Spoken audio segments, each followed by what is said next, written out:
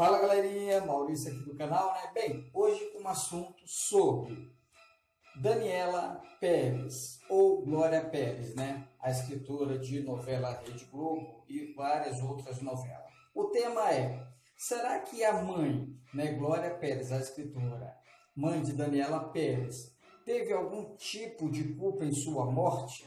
Né? Então a gente vai falar um pouquinho desse assunto aqui no canal. Se já gostou do tema, não deixe de dar seu like, seu joinha, comente aqui no canal e aqui do lado inscreva-se no canal e ative o sininho para todos. Bem, todo mundo sabe que Daniela Pérez, uma jovem, né, foi morta, esfaqueada, né, e o seu assassino veio a falecer na cadeia. Também não foi preso, aliás, também não foi solto, foi preso, né? Ele e a sua esposa. É uma morte muito violenta, trágica, né? E em que ela estava no auge da carreira, Daniela Pérez, que o nome dela na novela era Yasmin, né? Na novela De Corpo e Alma. Porém, muitos não lembram da Yasmin, né? É, é, na capa aqui o Eric Johnson, né? Que fazia lá o, o né? Que vivia em cemitérios, com velas, etc. Né? Todo mundo sabe que gótico é um bruxo, na verdade, né? Então, é, o tema justamente vou levar para a gente conversar aqui. É, lógico que Daniela Pérez era atriz e bailarina, né? Novinha, nasceu em 1970, né? A sua, eu faleceu em 92, quer dizer, com 22 anos de idade, nova, no auge da sua carreira. E a sua segunda novela, que quem não lembra, a, a Daniela Pérez, ela fez a primeira novela, a primeira novela dela foi O Dono do Mundo, tá? Também da Rede Globo. Bem, porém, porque eu botei o tema assim, será que a mãe, né, Glória Pérez, a escritora, teve alguma coisa a ver com a morte da filha? Claro que não, né, pessoal? Ela sofre até hoje. Tanto que agora que vai surgir o um documentário na Globo, né? Globo Play, não é isso? Sobre a morte, né? Que era casada com Raul Gazola, né? Então, foi coisa trágica para uma mãe perder uma filha. Porém, o que eu quero dizer é o seguinte: Glória Pérez, uma grande escritora, show de bola, muito mandada. Ela fez uma novela chamada Carne a Lucélia Santos, né? E que foi uma novela, se você não sabe, procura aí no YouTube, Carmen. Foi uma novela que essa, a atriz, né, a Lucélia Santos, ela fez um pacto com uma cigana com uma pombagira muito forte. Uma magia muito forte que ela fez um pacto para destruir um homem. Mas o problema é que ela amava esse homem.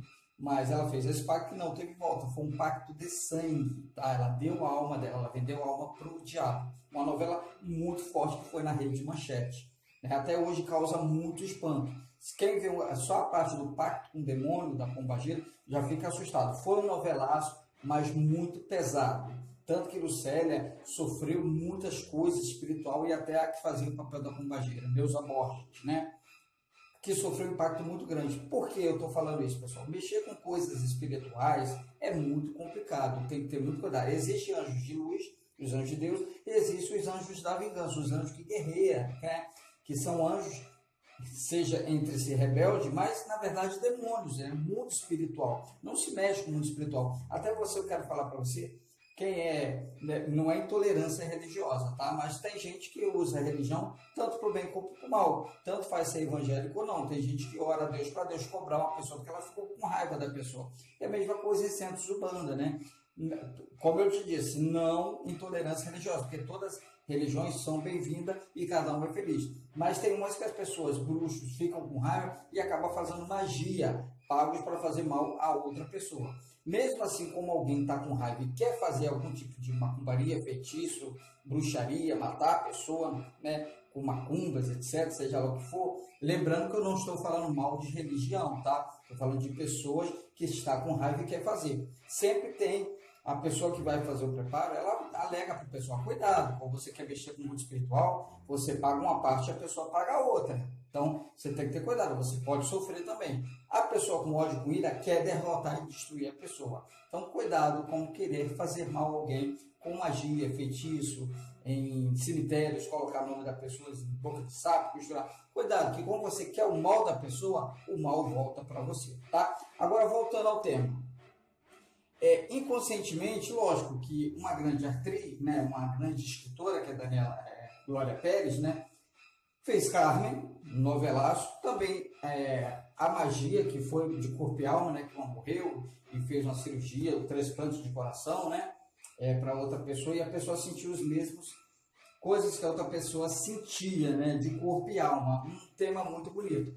Porém, quem lembra aqui do gótico, que é que, é, que fazia o papel, né, o Henry Johnson, ele era apaixonado, fissurado pela Yasmin, filha de Daniela, de Glória Pérez, que era Daniela Pérez, Daniela Pérez né, é, no personagem, né? Então ele era muito fissurado por ela, ele queria ela de qualquer jeito. Ele ficava fazendo macumba, feitiço, botando fotos dela é, com vários incensos, várias velas vermelhas, coloridas, porque o personagem do Eric Johnson era realmente um bruxo e um gótico. Ele é um bruxo pesado, usa roupa preta. Se você ver os detalhes da roupa caveira, morte, ia em cemitério, colocava o nome em cemitério, crânio, eles mexem muito. Pessoas góticas gostam de ir à meia-noite no cemitério, mexer com cadáver, fazer magia, macumba, feitiço forte. E ele usava muito as fotos da Yasmin, da Daniela Pérez, né? Daniela Pérez. Ele usava muito essas fotos porque ele queria era para ele. Então ele deusava, ele fazia um altar com foto dela com várias velas. Seria um, algo para botar realmente a atriz Daniela, Daniela Pérez lá no auge, sim, porque ela foi um fenômeno na novela. E ele era apaixonado por ela. E ele fazia todo tipo de magia, endeusando. Então isso, pessoal, mexe muito no mundo espiritual. E na novela ela tinha um caso com seu assassino, né? Ela, ela tinha um caso de amor, né? E foi até isso que causou a sua morte. Então, o que eu quero dizer, não que a mãe tenha culpa, né? Mas como se mexe com o mundo espiritual, tem que ter muito cuidado, porque a gente não sabe com que está mexendo e com que está lidando. Mas é aquilo, foi uma morte, repetindo, que todos nós sofremos, né? Até hoje a gente sente a falta de Daniela e Pérez, sua mãe, então, que sofre, seu esposo, Raul Gazola, né? Mas vingança foi feita, ele foi preso e morreu. Mesmo sendo evangélico, virou evangelho, se arrependeu, não interessa, mas a dor que fica no coração da mãe é muito forte. Então foi isso. O que eu quis dizer nesse vídeo foi que tenha cuidado com temas ou coisas que você quer fazer que possa acarretar coisas ruins para sua vida. Até porque como se mexe com o mundo espiritual é muito perigoso. Fica a dica aí, tá bom? E falando, não é intolerância religiosa. O problema é como a pessoa faz da religião algo que ela já é má, algo que ela quer fazer o mal para os outros, independente de ser evangélico ou não, ela tem um coração mau. O mal vem com a pessoa e não com a religião, ok? Abraço a todos. Se gostou, não deixe de dar seu like, seu joinha, comente aqui embaixo, deixa seu, se não é inscrito, se inscreva no canal, ative o sininho para todos. E lembrando que não fale mal de ninguém, eu só simplesmente citei que com o mundo espiritual, cuidado em mexer com entidades, com espíritos no mundo sobrenatural, porque a gente não sabe com quem está lidando. Porque as forças do bem existem e as forças do mal também existem. Show? Abraço!